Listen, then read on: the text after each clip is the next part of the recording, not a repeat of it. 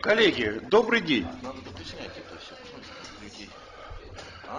Сегодня у нас такой знаменательный день. Мы начинаем новую страницу э, в работе Института Востоковедения, в исследованиях Института Востоковедения. Открываем для себя фактически новую страну.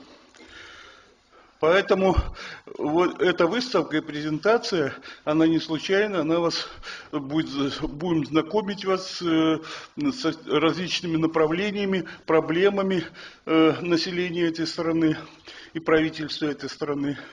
Вот такого рода маленькое э, введение перед выступлением главного на сегодняшний день специалиста по этой стране Миклуха Маклая.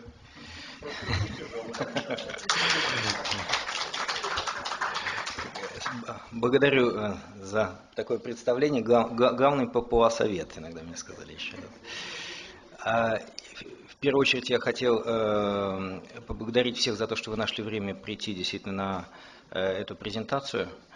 Э, и, конечно же, поблагодарить коллег, институт, э, сотрудников, кто находится здесь, кто проявляет интерес к этому, руководство, потому что именно благодаря тому, что мы смогли э, пообщаться и, операти- и смогли оперативно согласовать этот проект, который, в принципе, обычно готовится дольше, а тут мы сразу же и фильм, и выставку, и все остальное сделали очень быстро, поэтому искренне моя благодарность вам, Яр Павлович, и вам, и всем, кто в этом участвовал. Действительно, это очень э, важно. Я считаю, что в первую очередь важно для того, чтобы мы подняли эту интересную тему, интересную тему острова Новая Гвинея, который, в принципе, нам близок был еще 150 лет назад, с первого путешествия Микуха Макая, о котором все знали и который каким как-то, к сожалению, за последние несколько десятилетий ушел из поля внимания, несмотря на то, что является интересным со всех сторон, как с научной, этнографической, так и с политической. Абсолютно интереснейшее географическое расположение говорит об этом. Но сегодняшние, я немножечко представил вам Папу Новой Гвинеи, да, кстати говоря, э, так, чтобы мы знали, что это, безусловно, крупнейший остров, на котором 867 э, языков, Э, и действительно, это языки, которые они сохраняют до сих пор. Но сегодняшняя наша тема, она будет, конечно, касаться и Папуа Новой Гвинеи, но в первую очередь проекта, который мы хотели бы посвятить Океании. Он более глобальный, и, как вы знаете, Океания занимает 30% нашей карты. Это, конечно же, в основном океан, на то это и название Океания, и тысячи-тысячи островов, но, э, к сожалению, мы э, мало что знаем и помним о наших путешественниках, именно исследователей Океании. По крайней мере, э, мы постарались в этом проекте «Россия Океане» именно сфокусироваться на тех исследователях, которые исследовали такой далекий регион, в который ну, не каждый день мы посещаем. Не каждый день мы ездим, не каждый день мы видим его. И он всегда был интересен, потому что действительно что-то далекое, что-то неведомое, оно всегда притягивает. А в этом проекте мы э, собрали все путешествия русских исследователей, основные выдающихся русских исследователей, которые были начиная с XIX века и начиная с первого путешествия Крузенштерна. Э, делали мы эту работу совместно с ученым Москвы и Санкт-Петербурга, я потом представлю вам, потому что она не могла бы иметь э, ту э, научную ценность и ту ценность для образования, поскольку подобный проект мы в первую очередь пропагандируем и продвигаем среди школьников, которым недурно знать как дополнительное образование о том, что делали наши исследователи в океане и вообще, в принципе, немножко знать о российской истории.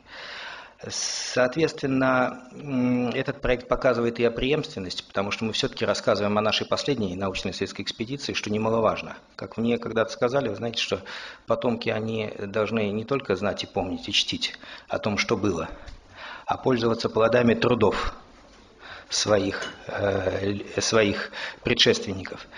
И мы попытались использовать плоды трудов наших предшественников и оказались в научно-исследовательской экспедиции уже в Папуа Новой Гвинеи, основываясь, безусловно, на, большом, на большой работе предыдущих коллег, которые были там и во время советских экспедиций.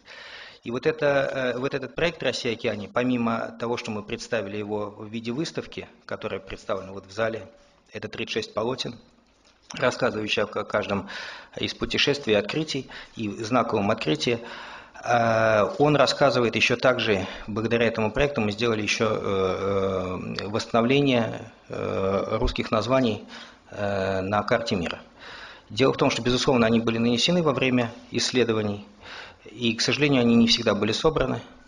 Мы нашли 71 название, объединили их те, в, те, в, то, в, то, в ту единую таблицу, которая будет опубликована, над которой сейчас идет работа, и которая, надеюсь, поможет непосредственно для публикации будущего атласа мира, о котором, как, раз говорил председатель попечительского совета Русского географического общества Владимир Владимирович Путин в 2018 году, и над которым работа идет.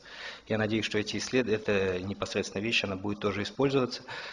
И здесь, э, если говорить о проекте одновременно мы проводим еще лекции. Основное это Москва, Санкт-Петербург и Новгород, но эти э, лекции подготовленные, они сделаны таким образом, чтобы в дальнейшем они работали. В первую очередь все это могло случиться, вот то, что я вам сейчас сказал, так в принципе о проекте. Э, сегодня мы с вами еще посмотрим видео, поскольку видео именно с нашей первой экспедиции. Все это могло случиться только лишь благодаря тому, что э, это была совместная работа ученых из Москвы и Санкт-Петербурга. В Санкт-Петербурге у нас э, профессор Массов участвовал, кто, кто занимается Австралией, австраловед серьезный. В Москве это Институт этнологии и антропологии Юрий Чининов по правую руку от меня. И, конечно же, мы не могли львиную, львиную работу, немалую, я бы сказал, работу, была произведена Э, София Евгеньевна Поле, которая и представляет Институт Востоковедения, за что я очень благодарен, что мы подключились. Э, соответственно, в дальнейших наших планах, чтобы я вам сказал, что это только начало, мы вам представим это издание, которое мы вот сейчас, э, над которым мы сейчас работаем. И я надеюсь, что оно будет радовать многих в будущем, которое будет безвозмездно дальше раздаваться для многих людей. И э, для того, чтобы все-таки нам оценить, может быть, значимость с точки зрения научной, я бы хотел, может быть, сначала дать слово... Э, Ой, извините, пожалуйста, да. Николай, Прошу прощения. Э, вы знаете, это, как вы понимаете, у нас специально есть отдел Юго-Восточной Азии и Океании, и его заведующий тоже принимает большое участие в, в развитии нового направления. Спасибо большое. Ну, Дмитрий Валентинович Масяков. Да. Ну, да, но вы знаете, для нас э, это действительно немножко новое, и в то же время нам представляется очень важная тема и очень важное, так сказать, направление наших исследований, потому что э, сегодня, э, как мне представляется, вот эта ситуация как касательно культуры э, народов, которые живут на Новой Гвинее, их жизни, их быта, она приобретает не только чисто этнографический характер, но в значительной степени начинает приобретать уже и политический характер.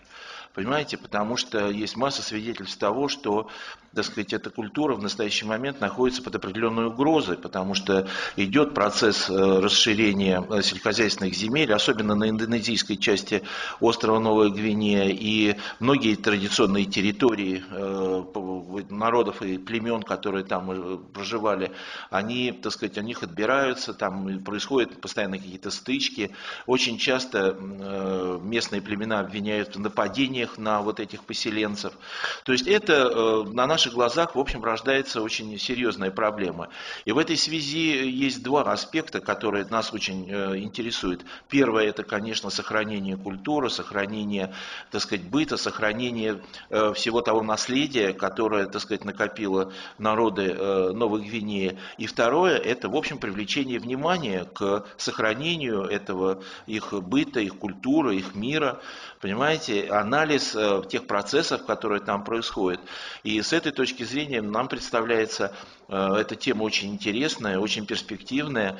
И я повторяю, не только мы же ее рассматриваем как чисто этнографическое, вот посмотрите, как это все, но и с точки зрения уже, если можно сказать, такой исторической экологии, с точки зрения того, чтобы искать и привлекать внимание к проблемам, которые стоят перед народами, проживающими и этносами, проживающими на Новой Гвинее, для того, чтобы привлечь и международное внимание, и наше внимание к этой проблеме, и искать какие-то выходы, методы, так сказать, сочетая интересы и экономического освоения этого острова, но с другой стороны и сохранения культуры, быта, жизни, в конечном итоге и численности тех людей, которые там столетиями обитали. Так что с этой точки зрения эта выставка только первый шаг, и я думаю, что в дальнейшем это будет и публикации, и статьи, которые, я повторяю, будут идти именно вот то, что нас больше всего интересует, вот на этом водоразделе. То есть, с одной стороны, сохранение того, что было, быта и культура этих народов, а с другой стороны, привлечение внимания к нынешнему их состоянию, к поддержке,